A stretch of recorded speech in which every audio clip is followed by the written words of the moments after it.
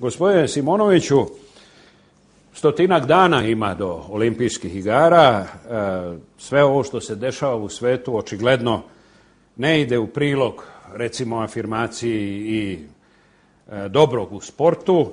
A kako se tu mi u Srbiji ponašamo prema čitavoj toj situaciji? Interesuje me vaše viđenje i razmišljanje, posebno kad je reč o najavljenom zavetu ćutnje naših sportista kao garancije da se neće koristiti parole i poruke sa političkim primesama ili onim što liči možda na političku poruku. Znate šta, potpuno je suludo da, da se sportisti, samo zato što su sportisti, svode na građane drugog reda ili na neke idiote ovaj, koji ne smeju da izraže svoje stavove. Zapravo, olimpijske igre, kao i velike sportske manifestacije, uvek su bile a, ekskluzivno sredstvo vlada, vladara sveta da izriču svoje političke poruke.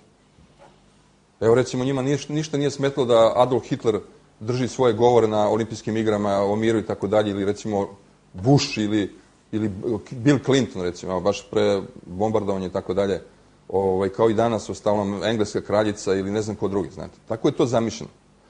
Kuberten je insistirao na tome da vladari sveta zapravo budu ti koji koriste olimpijsku govornicu za izricanje svojih političkih poruka, a da su sportisti samo sredstvo zapravo da se a, taj spektakl a, odvija. I oni su svedeni na ono što je u stvari ra, radnička klasa u svetu. Oni su izvršioci. Na stotine hiljade sportista svuda u svetu uništava svoje zdravlje, uništava sebe kao društveno biće, uništava ošte mogućnost da, da postane nešto u životu, da bi se do, do, domogli te olimpijske medalje, nadajući se da će pobići sirotinski geta i tako dalje. A vladari sveta koji raspolažu sa hiljadama, stotinama, hiljada, ne znam koliko, milijarde dolara, i koji drže svet u, u svojoj šaci zapravo, ovaj, oni koriste a, taj sportski prostor da bi izricali reklame i to ne samo znači u političkom smislu, nego ove takozvane ekonomske reklame. Znate, to su najmonstruoznije kapitalističke zapravo poruke. Jer je, jer je a, čitav taj reklamni mehanizam a, ne reklamiranje firmi, već pre svega reklamiranje kapitalizma i vrednosti kapitalizma. I sportu preuzima izuzetno značajnu ulogu Pored toga, govorio sam da je sport postao glavno, glavni prostor za pranje novca, znači preko 1500 milijardi dolara, to se ovako procenjuje, niko ne može da kaže koliko zapravo završava u rukama tih e, kapitalističkih bitangi i te mafije koje drži sve to u svojim rukama.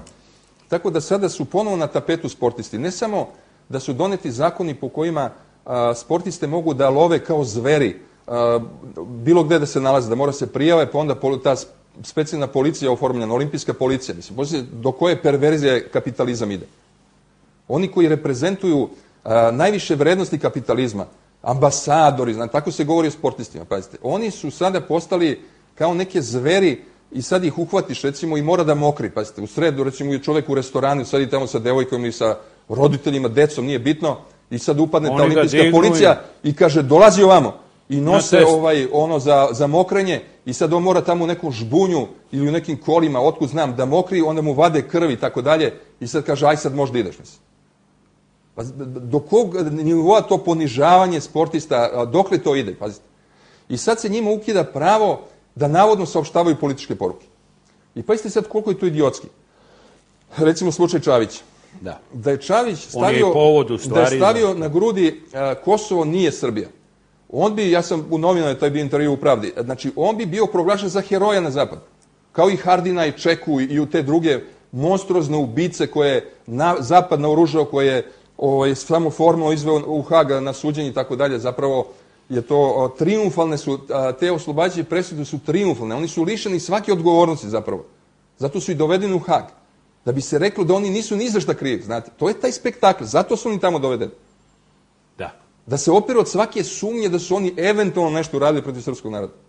Vidite vi do koje monstruozni to ide.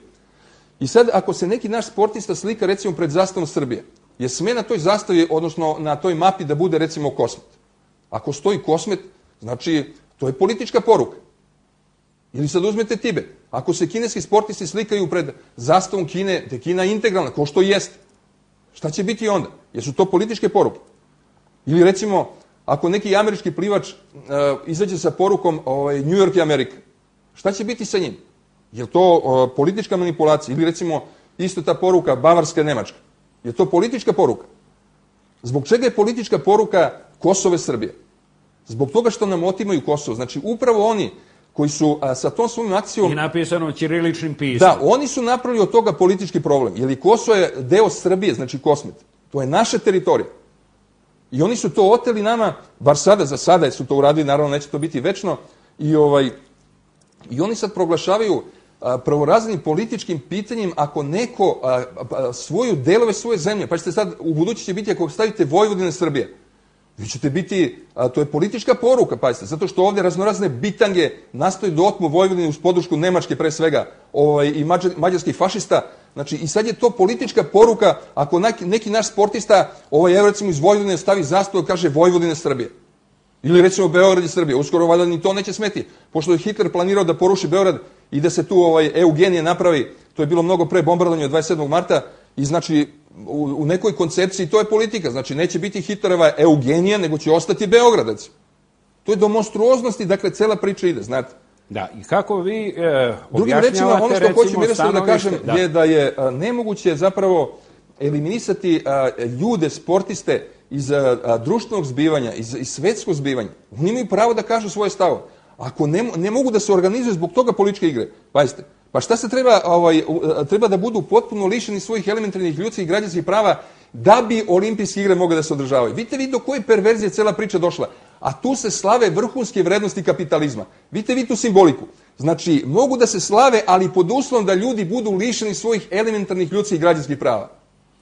Vidite, to je poruka kapitalizma današnjeg. To je u Americi svuda, priča o terorizmu i tako dalje.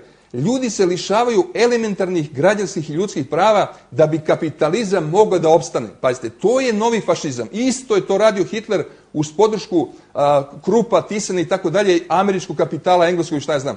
Znači, sprečiti građane da imaju elementarna građanska i ljudska prava da bi poredak mogao da opšte. Dakle, to je čisti fašizam. To je fašizam.